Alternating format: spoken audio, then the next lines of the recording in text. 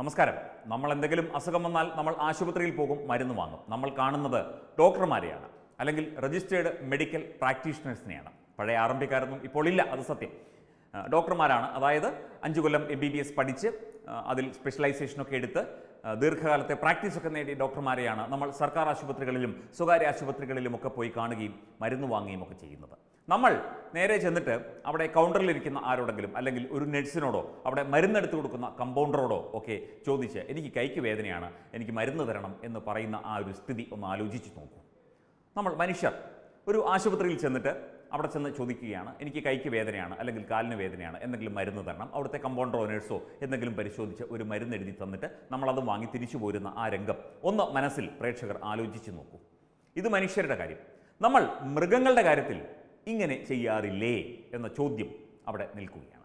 ചെയ്യാറുണ്ട് പലപ്പോഴും. അതായത് ഈ ഇൻസിമിനേറ്റ് ചെയ്യാൻ വരുന്ന അതായത് ഈ ചെന പിടിപ്പിക്കുന്ന ആ കുത്തിവെപ്പ് എടുക്കാൻ വരുന്ന ലൈഫ് സ്റ്റോക്ക് ഇൻസ്പെക്ടറോട് പശുവിന് ഇന്ന രോഗമാണ് അല്ലെങ്കിൽ ആടിന് ഇന്ന രോഗമാണ് കോഴിക്ക് ഇന്ന രോഗമാണെന്ന് പറയുമ്പോൾ അയാൾ എന്തെങ്കിലും ഒരു മരുന്ന് പറഞ്ഞു തരുന്നു അത് വാങ്ങുന്നു. അയാളെ ഡോക്ടർ എന്ന് സംബോധന ചെയ്യുന്ന സംഭവങ്ങൾ പോലും എനിക്ക് നേരിട്ട് അനുഭവമുണ്ട്. എന്റെ നാട്ടിൽ അവിടെ അവിടുത്തെ ഒരു വെറ്റിനറി ലൈഫ് സ്റ്റോക്ക് ഇൻസ്പെക്ടർ അയാളെ ഇപ്പോഴും ആ നാട്ടുകാർ വിളിക്കുന്നത് ഡോക്ടർ എന്നാണ്. ലൈഫ് സ്റ്റോക്ക് ഇൻസ്പെക്ടറായി പെൻഷൻ പറ്റിയ വ്യക്തിയാണ്. ഡോക്ടറായിട്ടാണ് അയാൾ അറിയപ്പെടുന്നത്. അയാൾക്ക് ഡോക്ടറെ എന്ന് വിളിച്ചില്ലെങ്കിൽ ഇപ്പോൾ ഒരു നീരസമാണ്. അപ്പോൾ ഇത്തരത്തിലുള്ള വാളെടുത്തവനെല്ലാം വെളിച്ചപ്പാട് എന്ന അവസ്ഥയിലേക്ക് മൃഗങ്ങളുടെ ചികിത്സ ചികിത്സാ രീതിയും മൃഗങ്ങളുടെ സംരക്ഷണവും ആരോഗ്യ സംരക്ഷണവും എത്തിപ്പെടുന്നത് എന്തുകൊണ്ടാണ്? ഇത് നമ്മൾ ശ്രദ്ധിക്കാത്തത് കൊണ്ടാണ് നമ്മൾ ഇതിന് വില കൽപ്പിക്കാത്തത് കൊണ്ടാണ്. നമ്മളെപ്പോലെ തന്നെ ജീവിക്കാനും ചികിത്സ നേടാനും ഇവിടെ കഴിയാനുമുള്ള എല്ലാ അവകാശവും ഭൂമിയുടെ അവകാശികളായ എല്ലാ മൃഗങ്ങൾക്കും ഉണ്ട് എന്ന യാഥാർത്ഥ്യം അവർക്കും ഭരണഘടന അതിനുള്ള അംഗീകാരം നൽകുന്നുണ്ട് എന്നുള്ള ആ ഒരു സത്യം നമ്മൾ മനസ്സിലാക്കാത്തത് കൊണ്ടാണ്. ഇപ്പോൾ ധാരാളം പെറ്റ് ക്ലിനിക്കുകൾ അതുപോലെയുള്ള ഒരുപാട് സംരംഭങ്ങൾ അതുപോലെ ഇതുപോലെ ലൈഫ് സ്റ്റോക്ക് ഇൻസ്പെക്ടറായി പെൻഷൻ പറ്റിയവർ വീട്ടിൽ ചികിത്സ നടത്തുന്ന കേസുകളൊക്കെ തന്നെ ഒരുപാട് റിപ്പോർട്ട് ചെയ്യപ്പെടുന്നുണ്ട്. അതിനെക്കുറിച്ചൊക്കെ വിശദമായി അന്വേഷിക്കേണ്ടതല്ലേ? പരിശോധിക്കേണ്ടതല്ലേ? കഴിഞ്ഞ മാസം വെറ്റിനറി കൗൺസിൽ അതായത് കേരള സ്റ്റേറ്റ് വെറ്റിനറി കൗൺസിൽ അതിന്റെ ഓഫീസ് തിരുവനന്തപുരത്താണ്. മൃഗങ്ങളിലെ വ്യാജ ചികിത്സ ആപത്താണ്. ശിക്ഷാർഹം അതിന്റെ വിശദാംശങ്ങളൊക്കെ പങ്കുവെച്ചുകൊണ്ട് വ്യാജ ചികിത്സകരെ തിരിച്ചറിയൂ. നിങ്ങളുടെ മൃഗങ്ങൾക്ക് ശരിയായ ചികിത്സ ഉറപ്പുവരുത്തൂ എന്നൊക്കെ പറഞ്ഞ് ഒരു സർക്കുലറും പരസ്യവുമൊക്കെ ഇറ- ഇറക്കിയിരുന്നു. എത്ര പേർ അത് കണ്ടു വായിച്ചു എന്നറിയില്ല. അതിൽ വളരെ കാര്യമായി തന്നെ അത് പറഞ്ഞിട്ടുണ്ട്. ഈ വ്യാജ ചികിത്സകൾ അല്ലെങ്കിൽ വ്യാജ ചികിത്സകന്മാർ മൃഗങ്ങൾക്ക്. കാരണം മൃഗങ്ങളല്ലേ ഇപ്പോൾ ചത്തുപോയി കഴിഞ്ഞാൽ അല്ലെങ്കിൽ അവർ ഇല്ലാതായി കഴിഞ്ഞാൽ അത്രയേ വരുന്നുള്ളൂ. മനുഷ്യരാണെങ്കിൽ പ്രാധാന്യത്തോടെ അല്ലെങ്കിൽ മൃഗങ്ങളാണെങ്കിൽ അവർക്ക് ഒരു പുല്ലുവിലയും കൽപ്പിക്കുന്നില്ല എന്നുള്ള ഒരു അവസ്ഥ ഇന്ന് നമ്മുടെ സംസ്ഥാനത്ത് നിലവിലുണ്ട് എന്നാണ് മനസ്സിലാകുന്നത്. ദയ ആനിമൽ വെൽഫെയർ ഓർഗനൈസേഷൻ എന്ന മൃഗങ്ങളുടെ മൃഗങ്ങളുടെ അവകാശങ്ങൾക്കായി പ്രവർത്തിക്കുന്ന മൃഗങ്ങളെ സംരക്ഷിക്കുന്ന ഒരു സംഘടന ഉണ്ട്. എറണാകുളം കേന്ദ്രീകരിച്ച് പ്രവർത്തിക്കുന്നു. സംസ്ഥാനത്തിന്റെ വിവിധ ഭാഗങ്ങളിൽ അവർക്ക് യൂണിറ്റുകളുണ്ട്. അതിന്റെ ചുമതലക്കാരിയും പ്രവർത്തകയുമായ ശ്രീമതി അമ്പിളി പുരയ്ക്കൽ. ഈ വിഷയത്തിൽ അവരുടെ ഒബ്സർവേഷൻസും അവരുടെ നിരീക്ഷണങ്ങളും അവരുടെ അഭിപ്രായവും തത്വമേ ന്യൂസിനോട് വളരെ വളരെ വ്യക്തമായി തന്നെ പങ്കുവച്ചു. ശ്രീമതി അമ്പിളിയുടെ വാക്കുകളിലേക്ക്. നോക്കൂ ഇവിടെ പെറ്റ് ക്ലിനിക്കുകൾ മാത്രമല്ല. വാളെടുത്തവനൊക്കെ വെളിച്ചപ്പാടെന്നുള്ള രീതിയാണ് ആനിമൽ വെൽഫെയറിൽ നടന്നുകൊണ്ടിരിക്കുന്നത്. താങ്കൾ ഒരു പക്ഷെ ഒന്ന് ശ്രദ്ധിച്ചാൽ അറിയാം നമുക്ക് ഒരുപാട് ആനിമൽ ഗ്രൂപ്പ്സും ആനിമൽ വെൽഫെയർ ആക്ടിവിറ്റി ആക്ടിവിസ്റ്റുകൾ എന്ന് അവകാശപ്പെടുന്നവരും ഒക്കെ നമ്മുടെ ഫേസ്ബുക്കിലൊക്കെ നിറ നിറഞ്ഞു നിൽക്കുകയാണ് ഒപ്പം അതിനൊപ്പം ഈ പെറ്റ് ക്ലിനിക്കുകൾ അതിനൊപ്പം സർക്കാരിന്റെ തന്നെ വെറ്റിനറി ഹോസ്പിറ്റലുകളിലുള്ള വെറ്റിനറിയൻസ് അല്ലാത്ത ജോലിക്കാര് ഇവരെല്ലാവരും പ്രിസ്ക്രൈബ് ചെയ്യുകയും അത് ആനിമൽസിൽ നടപ്പാക്കുകയും ഒക്കെ ചെയ്യുന്ന ഒരവസ്ഥയാണ് കേരളത്തിലുള്ളത്. ഇത് ഇന്നും ഇന്നലെയും തുടങ്ങിയതല്ല. ദയ സ്റ്റാർട്ട് ചെയ്തിട്ട് തന്നെ ഇരുപത് വർഷമായി. ഈ ഇരുപത് വർഷവും ഞങ്ങൾ ഇവിടെ ആവശ്യപ്പെട്ടുകൊണ്ടിരുന്ന ഒരു കാര്യമാണ് ഇപ്പോൾ വെറ്റിനറി കൗൺസിൽ ഇവിടെ നടപ്പാക്കിയിരിക്കുന്നത്. അതായത് ദയ ആവശ്യപ്പെടുന്നത് ആനിമൽ ലവേഴ്സ് അല്ല ഞങ്ങൾ ആരും ഞങ്ങൾ എല്ലാവരും ആനിമൽ ആക്ടിവിസ്റ്റുകളാണ് അതായത് മൃഗ അവകാശ പ്രവർത്തകരാണ്. മൃഗങ്ങൾക്കും അവകാശമുള്ളത് കൊണ്ടാണല്ലോ നമ്മുടെ ഭരണഘടനയിൽ മൃഗങ്ങൾക്കായിട്ടുള്ള നിയമമുള്ളത്.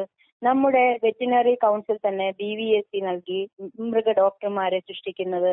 അവർ ഒരുപാട് കാലം പഠിച്ചും പ്രാക്ടീസ് ചെയ്തുമാണ് നമ്മുടെ മൃഗങ്ങളെ ചികിത്സിക്കുവാനായിട്ട് ഇവിടെ ഉള്ളത്. അപ്പോ മൃഗങ്ങളുടെ ഒരു അവകാശമാണ് അവരെ ചികിത്സിക്കാൻ പ്രാപ്തരായിട്ടുള്ള രജിസ്റ്റേർഡ് വെറ്റിനറിയൻസിന്റെ സർവീസ് അവർക്ക് ഉറപ്പാക്കുക എന്നുള്ളത്. അവർക്കത് ചോദിക്കാൻ പറ്റില്ല. അപ്പൊ നമ്മളെ പോലെയുള്ളവർ അത് ചോദിച്ചു മേടിക്കുക തന്നെ വേണം.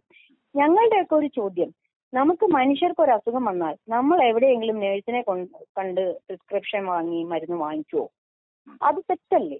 നമ്മൾ ഡോക്ടർമാരെ അത് പ്രിസ്ക്രൈബ് ചെയ്യാവുള്ളൂ എന്ന നിയമമുണ്ട് അല്ലേ? മൃഗങ്ങൾക്ക് അങ്ങനെ ഒരു സാഹചര്യം ഇപ്പോഴും നിലവിൽ വന്നിട്ടില്ല കേരളത്തിൽ അതിന്റെ പ്രധാന കാരണം എന്താണെന്ന് വെച്ചാൽ മൃഗമല്ലേ. എന്തെങ്കിലും മരുന്ന് കൊടുത്താൽ മതി. അവരിപ്പോ മരിച്ചു പോയാലും എന്തെങ്കിലുമൊക്കെ കൊടുത്ത് അതങ്ങ് കേസ് ഒതുക്കാം. പിന്നെ ഇവിടെ എല്ലാവരും ഒരു ചിന്തയുണ്ട്. ഒരു മൃഗത്തിന് വരുന്ന അസുഖത്തിന് മരുന്ന് ഒരാൾക്ക് കിട്ടിക്കഴിഞ്ഞാൽ അത് ഈ ലോകത്തുള്ള സകലമാന മൃഗങ്ങൾക്കും കൊടുക്കാമെന്നാണ് ഇവരുടെയൊക്കെ ചിന്ത. ഞങ്ങൾ പലപ്പോഴും ഈ ആനിമൽ വെൽഫെയർ ഗ്രൂപ്പുകളിൽ വഴക്കുണ്ടാക്കുന്ന പ്രധാന ഒരു കാര്യവും ഇതൊക്കെ തന്നെയാണ്. ഒരാൾ ചോദിക്കുകയാണ് എന്റെ പട്ടിക്ക് കഴിഞ്ഞ രണ്ട് ദിവസമായിട്ട് വയറിളക്കം ഉണ്ട് ക്ഷീണമാണ് എന്ത് മരുന്നാണ് കൊടുക്കണേ? പിന്നെ അതിന്റെ താഴെയുള്ള കമന്റ്സ് നോക്കിക്കഴിഞ്ഞാൽ നമ്മൾ അന്തം വിട്ടു പോകും. എല്ലാവരും വെറ്റിനറിയൻസ് ആണ് ഇവിടെ. അവരെല്ലാവരും അങ്ങ് പ്രിസ്ക്രൈബ് ചെയ്തിരിക്കുകയാണ് അതിനകത്ത്. നമ്മൾ അതിൽ കയറി എഴുതും നിങ്ങൾ ദയവ് ചെയ്ത് തൊട്ടടുത്തുള്ള വെറ്റിനറി ഹോസ്പിറ്റലിൽ കൊണ്ടുപോകൂ. അവിടെ ചികിത്സ തികച്ചും സൗജന്യമാണ്. അവിടെ നല്ല മൃഗഡോക്ടർമാരുണ്ട് ഇനി അവിടെ ഇല്ലെങ്കിൽ പോലും നിങ്ങൾ ഈ പറഞ്ഞ മാതിരി സമീപ പ്രദേശങ്ങളിൽ ഇപ്പൊ വ്യാപകമായി പെറ്റ് ക്ലിനിക്കുകൾ വന്നിട്ടുണ്ട്. അവിടെയുള്ള മൃഗഡോക്ടർമാരും വലിയ പ്രശ്നക്കാരൊന്നും അല്ല. അവരൊക്കെ രജിസ്റ്റേർഡ് പ്രാക്ടീഷണേഴ്സ് തന്നെയാണ്. അവിടെ ചെന്ന് നിങ്ങൾ അവർക്കുള്ള മരുന്ന് മേടിക്കൂ എന്ന് പറഞ്ഞാൽ നമ്മുടെ കർഷകരടക്കമുള്ള അതായത് ക്ഷീര കർഷകരടക്കമുള്ളവർ ഇത് കേൾക്കുവാൻ തയ്യാറല്ല. പെറ്റ് പെറ്റ് ക്ലിനിക്കുകളെ വന്നിട്ടുള്ളൂ. ഈ പശുവിനും ആടിനും കോഴിക്കും ഉള്ള മരുന്നുകളൊക്കെ ഇപ്പോഴും വെറ്റിനറി ഹോസ്പിറ്റലുകളിലൂടെ തന്നെയാണ് വിതരണം ചെയ്യുന്നത്. പശുവിന്റെ ഒക്കെ മരുന്നിന്റെ ഒക്കെ കാര്യം പറഞ്ഞാൽ പലപ്പോഴും പശുക്കളെ ചികിത്സിക്കുന്നത് നമ്മുടെ മൃഗഡോക്ടർമാർ തന്നെയാണോ എന്ന് ഞങ്ങൾക്ക് സംശയം തോന്നിയിട്ടുണ്ട്. എൽ അതായത് ലൈവ് സ്റ്റോക്ക് അസിസ്റ്റന്റുമാര് പശുക്കളെയും ആടുകളെയും ചികിത്സിക്കുകയും അവർക്ക് മരുന്നുകൾ നൽകുകയും ആ മരുന്നുകൾ കുത്തിവയ്ക്കുകയും ഒക്കെ ചെയ്യുന്ന ഒരുപാട് കേസുകൾ ഞങ്ങൾ നേരിട്ട് കണ്ടിട്ടുണ്ട് ഞങ്ങൾ എതിർത്തിട്ടുണ്ട്. ഇത് വെറ്റിനറി ഡോക്ടർമാർ തന്നെ അനുവദിച്ചുകൊണ്ട് ചെയ്യുന്ന പ്രവൃത്തിയായിട്ടാണ് കണ്ടിട്ടുള്ളത്. ഒരു ഉദാഹരണം കൂടെ പറയാം. പറവൂർ മൃഗാശുപത്രിയിൽ എൽ ആയി ജോലി ചെയ്തിരുന്ന ഒരു വ്യക്തി ഞാൻ മൃഗഡോക്ടറാണ് എന്ന് അവകാശപ്പെട്ട് നിരന്തരം പട്ടികളെയും പൂച്ചകളെയും പശുക്കളെയും ചികിത്സിക്കുക ചികിത്സിക്കുന്നത് ഞങ്ങളുടെ ശ്രദ്ധയിൽപ്പെട്ടിട്ട് അതിന് ഞങ്ങൾ പരാതി കൊടുക്കുകയും ജില്ലാ വെറ്റിനറി ഹോസ്പിറ്റലിൽ നിന്നും അന്വേഷണത്തിൽ വരികയും ഞങ്ങളുടെ ഹിയറിംഗ് കേൾക്കുകയും എല്ലാം ചെയ്തതിനു ശേഷം അദ്ദേഹത്തിന് ഒരു വാണിംഗ് കൊടുത്ത് മാറ്റി നിർത്തിയതല്ലാതെ യാതൊരുവിധ ശിക്ഷാ നടപടികളോ അല്ലെങ്കിൽ ഇന്ന വ്യക്തി വെറ്റിനറിയൻ അല്ല അയാളുടെ ചികിത്സ നിങ്ങൾ സ്വീകരിക്കരുതെന്ന് പറയുകയോ ചെയ്തൊരു നോട്ടിഫിക്കേഷൻ ഞങ്ങൾ ഒരിടത്തും കണ്ടില്ല നമ്മളെല്ലാവരും ഒന്ന് മൃഗാശുപത്രികളിൽ ചെന്ന് നോക്കുക. ഒരിടത്തും മൃഗഡോക്ടർമാര് അവൈലബിൾ ആയിരിക്കില്ല. അതാണ് ഇതിന്റെയൊക്കെ പ്രശ്നത്തിന്റെ ഏറ്റവും പ്രധാന കാരണം. അവരെല്ലാവരും ഒന്നുമില്ലെങ്കിൽ ചികിത്സാർത്ഥം എവിടെയെങ്കിലും ഒക്കെ പോയിരിക്കുകയായിരിക്കും. കാരണം പശുവിനെ നോക്കാനായിട്ട് ഏതെങ്കിലും വീട്ടിൽ പോയിന്നോ അല്ലെങ്കിൽ ആട് പ്രസവിച്ച് കിടക്കുന്നിടത്ത് പോയിന്നോ ഒക്കെ ഒരുപാട് എക്സ്ക്യൂസുകൾ പറഞ്ഞ് മൃഗാശുപത്രികളിൽ ഒരിക്കൽ പോലും മൃഗ ഡോക്ടർമാർ ഉണ്ടാവാറില്ല അപ്പോ പിന്നെ ഈ ചെല്ലുന്ന പേഷ്യൻസ് എന്ന് പറയുന്നവരുടെ ഉടമകൾ എന്ത് ചെയ്യും? അവർക്കറിയാവുന്ന മരുന്നുകൾ മേടിച്ചു കൊടുക്കും. അല്ലെങ്കിൽ മൃഗമരുന്നുകൾ ലഭ്യമാണ് എന്ന് എഴുതി വെച്ചിട്ടുള്ള ഫാർമസിയിൽ ചെന്നിട്ട് മെഡിക്കൽ ഷോപ്പിൽ ചെന്നിട്ട് അസുഖം പറഞ്ഞ് മരുന്ന് മേടിക്കും. ഇത് ശരിക്കും നമ്മുടെ നിയമപ്രകാരം തെറ്റ് തന്നെയാണ്. ഈ തെറ്റിനെ ഇപ്പോഴും വെറ്റിനറി കൗൺസിൽ കണ്ടെത്തുകയും തിരുത്തുകയും ചെയ്യാൻ എടുത്ത നിലപാടിനോട് ഞങ്ങൾ യോജിക്കുന്നു. പക്ഷേ ഇത് എത്രമാത്രം പ്രാക്ടിക്കലായി പ്രായോഗികമായി നടത്താൻ പറ്റുമെന്ന് കൂടി കൗൺസിൽ ഒന്ന് ചിന്തിക്കുക. എന്നിട്ട് ശക്തമായ നടപടികൾ സ്വീകരിക്കുക. സ്വീകരിക്കുവാൻ തയ്യാറാണോ എന്നുള്ളതാണ് ഞങ്ങളുടെ ചോദ്യം. കൃത്യമായ യാതൊരു കാര്യങ്ങളും നടപ്പാക്കാത്ത ഒരു ഒരു ഒരു മേഖലയാണ് മൃഗസംരക്ഷണ വകുപ്പ്. വെറ്റിനറിയൻസിന്റെ അഭാവമാണ് അവർക്ക് ആകപ്പാടെ ഈ കേരളത്തിൽ ആയിരത്തി മുന്നൂറോളം വെറ്റിനറിയൻസ് ഉള്ളൂ എന്നാണ് അവരുടെ തന്നെ കണക്ക്.